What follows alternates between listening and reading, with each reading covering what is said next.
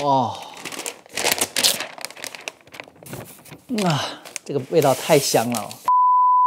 我目前正在使用的就是2017款的13寸的 MacBook Pro i5 双核处理器，8G 内存，256G 硬盘容量。这种配置，说实话，让我剪片的效率极其低下。所以，当苹果一推出 M1 Pro 新品的 MacBook Pro 的时候呢，我就毫不犹豫的拿下了。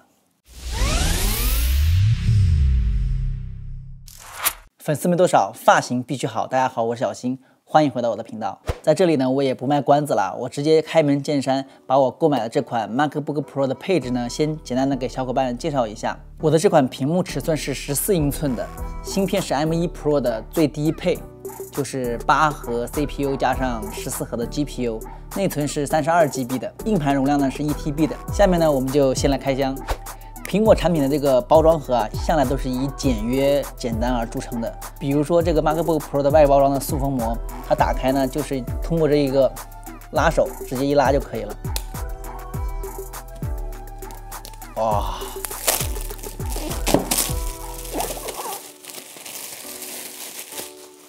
哇！我已经迫不及待了。哦，嗯，一股苹果熟悉的那种。清香的味道扑鼻而来啊！这个电脑的取出呢，它也很有讲究，这一样有一个拉手，我们一拉就把它拉起来了。很明显，这个笔记本的 A 面呢，这个苹果的 logo 变大了很多。我拿一下我之前的十三寸这个笔记本，大家对比一下。第一个明显就是这个笔记本的这个厚度，同样放在这个平面的桌上，大家看这个厚度。确实是十四寸的 MacBook Pro 呢，要厚上许多。其次是这个棱角啊，这个新款的 MacBook Pro 呢，非常的圆润，摸上去没有一种硌手的感觉。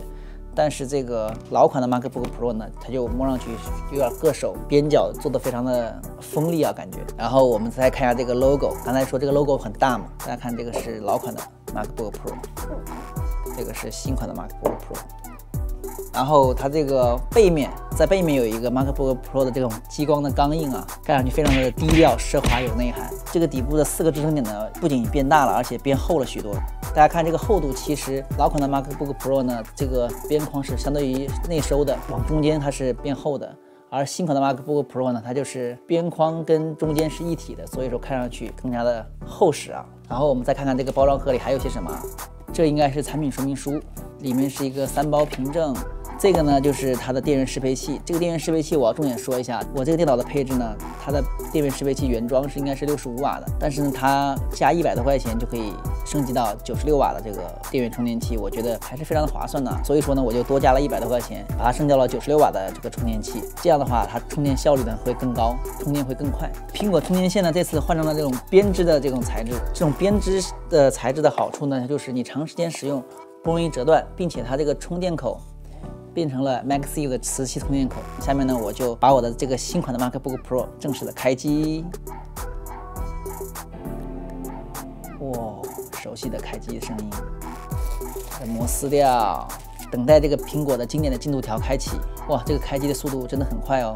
在经过刚才一个简单的开箱以后呢，我的首要任务呢，就是要把我的旧电脑上的数据迁移到新电脑上来。那么在做这个繁忙的工作之前呢，我先给小伙伴分享一下，我觉得苹果今年推出的这个新款 MacBook Pro，相较于上一款 M1 芯片的版本，有三个地方呢是让我觉得很赞的啊。首先让我觉得大快人心的就是取消了 Touch Bar。当时我买一七款的 MacBook Pro 的时候呢，正好赶上了 Touch Bar 的问世啊。我觉得这玩意儿是苹果的高端技术的象征，没有 Touch Bar 那就不算 Pro。结果真的当使用起来才发现，当时多出了几千块钱，就是给自己的虚荣心在买单。其次是屏幕的升级让我觉得很给力啊，苹果终于是换掉了能跑马的屏幕边框，取而代之的是窄边框刘海屏。有人吐槽说刘海屏看着丑，或者是不习惯，我倒觉得还好。可能是看惯了 iPhone 的刘海屏吧，所以说相对于屏幕边框变窄带来的惊喜呢，是不是刘海屏对我来说已经不重要了。还有新款的 MacBook Pro 的屏幕换成了 Mini LED 屏，并且支持了一百二十赫兹的动态刷新率，屏幕的持续亮度呢可以达到一千尼特，峰值亮度甚至可以达到一千六百尼特。这种变态的屏幕素质让我都想尝试制作剪辑 HDR 视频了。最后是接口的种类变多了，一个三点五毫米的耳机接口。一个 HDMI 接口，一个 MagSafe 三磁吸充电接口，一个 SD 插槽，再加上三个雷利四接口，让 MacBook Pro 有了更好的扩展性。特别是这个 SD 插槽，对于我们视频创作者来说，真的是太实用了。SD 卡里的影片素材直接插到电脑上导出就可以了，摆脱了使用拓展坞转接的烦恼。Day two，这两天我一直在重度的使用这款全新的 MacBook Pro，不管是上班带着它办公，还是下班后在家里用它剪片，就是为了给大家带来。最真实的使用体验，在这里我要声明的是，下面我所说到的所有主观上的感受，都是相较于这台一七款的十三寸的 MacBook Pro 而来的。首先是操作体验上的升级啊，除了拿在手里不硌手以外呢，让我觉得使用起来最舒服的有两点。第一点啊，就是屏幕掀起来的阻尼感更顺滑了。两者相比呢，新款的 MacBook Pro 啊，体验起来更佳。第二点是新款的 MacBook Pro 是剪刀式的键盘，而一七款的 MacBook Pro 呢是蝶式键盘。蝶式键盘有什么缺点呢？就是它键程比较短啊，敲起来像在敲钢板，而且这种噼里啪啦的声音啊非常大。我经常夜里在卧室写脚本啊，被我老婆赶出来，原因就是这种打字声太大了。其次是新款 MacBook Pro 啊，有了 M1 芯片的加持呢，性能上肯定是秒杀这台。i5 处理器的一七款的 MacBook Pro 的，首先是软件的运行速度呢，提升太明显了。不管是平时办公使用的 Office 软件，还是网页浏览器，再到我用的 Final Cut Pro 这种专业的剪辑软件啊。打开软件的速度几乎是秒开，我经常会遇到给领导汇报工作的场景，Office 半天才打开，他们会很不解的来一句：“你不是用的苹果电脑吗？为什么打开个 Office 都这么慢？”或者就说：“果然苹果电脑不适合办公，跟 Office 兼容这么差。”这时呢，我就很无语，无力反驳啊。这些问题其实都还好，只是一个面子上过不过去的问题。有的人不在乎，其实也就无所谓了。真正体现生产力有巨大提升的是我们这种。剪片的视频创作者，我之前用的这台一七款的 MacBook Pro，在 Final Cut Pro 剪 4K 影片的时候呢，从来是不敢开实时渲染的，因为这会让你在剪片的时候啊，电脑变得极其卡顿，几乎是没有办法愉快的剪片，所以我只能把这个实时渲染这个功能给关闭，等影片全部剪完以后呢，再统一渲染。我的 4K 影片时长一般在八分钟左右吧，每次渲染一次要四十分钟，这时候呢，我什么也不能干，就只能干等。但是我现在使用这款 MacBook Pro 剪。影片呢，就是全程开启实时渲染模式，影片剪完呢即渲染完，哎，这种感觉啊，真的是不要太爽了。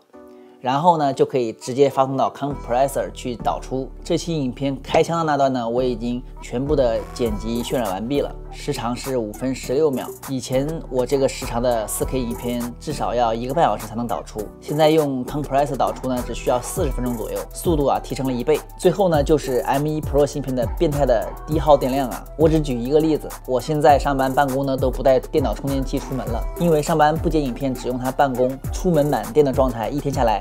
连百分之二十的电量都用不到，可以说 M1 芯片就是这么的变态。所以，如果你是一位像我这样不需要剪辑大量影片，或者不需要同时剪辑多个影片的创作者，并且还用着英特尔芯片的 MacBook Pro 的话，希望我的这个分享啊，能给你换机呢提供更多的帮助。OK，以上就是我对这台全新的十四寸 MacBook Pro 开箱体验的全部内容了。如果你对我的视频感兴趣的话，欢迎留言、点赞、转发，并关注我的频道。我是小新，See you next time。